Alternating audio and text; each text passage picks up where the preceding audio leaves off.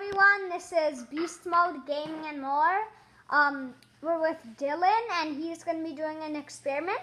What you're going to need for this experiment is dish soap, some pepper, and a bowl of water. So, he's going to pour the pepper in. You can see that the pepper is being poured in. And now he's going to get the dish, dish soap and he's gonna spread it on his hands. Once he does, he's gonna drop it in the middle, and you can see that all the pepper went away onto the sides. And that was the experiment. It only works once.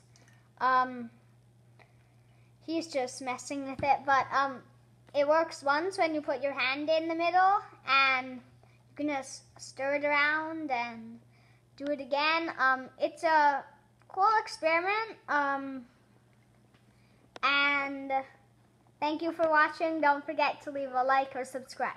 Thanks.